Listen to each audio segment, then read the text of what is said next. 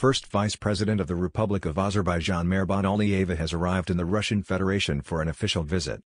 At the Vnukovo 2 International Airport, First Vice President Mehriban Aliyeva was met by Russian Deputy Foreign Minister Alexander Pankin, Russian Ambassador to Azerbaijan Mikhail Bocharnikov, Head of the State Protocol Department at Russian Ministry of Foreign Affairs Igor Bogdashev and Azerbaijani Ambassador to Russia Polad Bulbuloglu.